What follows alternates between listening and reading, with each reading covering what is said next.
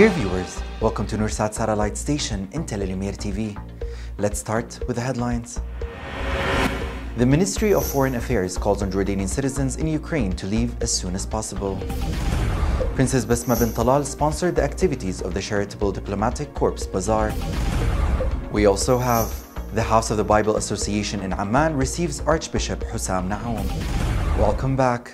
Within the framework of his weekly Christian teachings, and as he habitually does every week, His Holiness Pope Francis welcomed the believers coming from all over the world to the Vatican, where His Holiness contemplated and said, Most Holy Father, the English speaking visitors and pilgrims here in the square today wish to express to you their deepest esteem and appreciation and to assure you of their prayers for your work as a successor of Peter.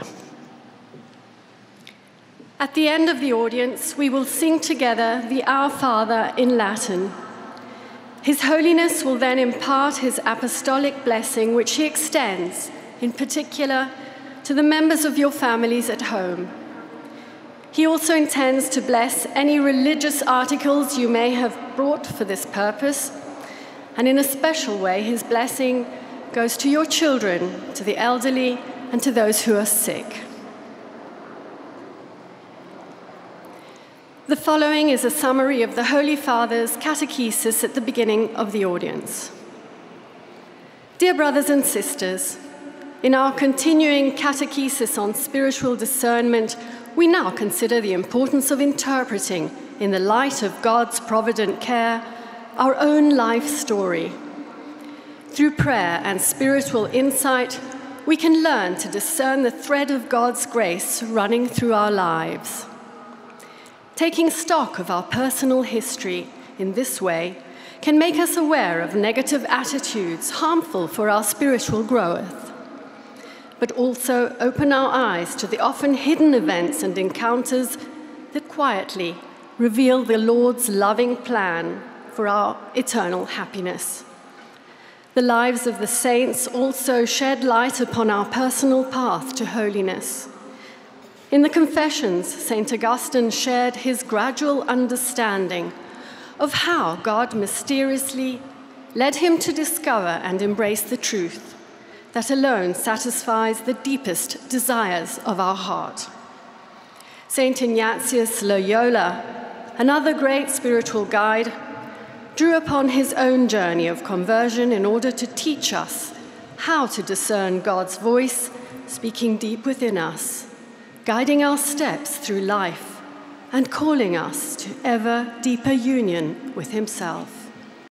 Her Royal Highness Princess Basma bin Talal sponsored the activities of the Diplomatic and Charitable Bazaar of Umm Al Hussein Foundation, which was held in Al Hussein Youth City, and its entire proceeds were allocated to support the children of the foundation. About 30 diplomatic missions in the kingdom participated in the bazaar, exhibited a variety of products representing the civilization and cultures of the participating countries. After the opening, Her Highness toured the bazaar and pursued its contents. In a speech she delivered in the presence of the ambassadors of the participating countries and their families, Her Royal Highness Princess Basma said that the ultimate goal of the bazaar of the diplomatic corps is to support the children of Umm al-Hussein Foundation, prepare them and empower them to become successful and active in society.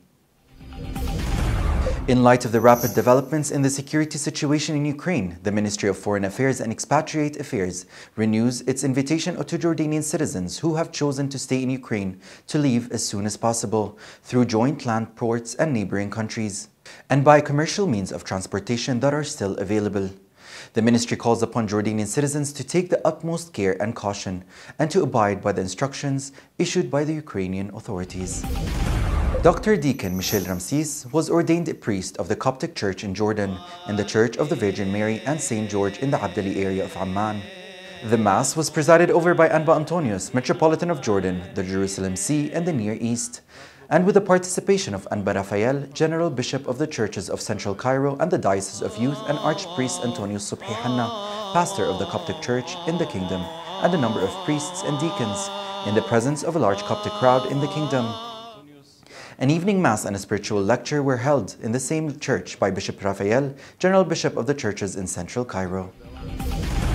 a divine liturgy was held in the Roman Catholic Church in Fuhais to renew the annual promise of St. George youth officials. Archimandrite Paul Haddad presided over the Mass in the presence of a number of nuns of St. Anne and a large crowd of believers. After the sermon of the Mass, in which Father Paul called the youth to commit to prayer and to do more activity to serve the parish and the church, the parish priest went to attend the opening of the new youth headquarters in the town of Fuhais and blessed it. The House of the Bible Association in Amman received Archbishop Hussam Naoum, Archbishop of the Anglican Diocese of Jerusalem.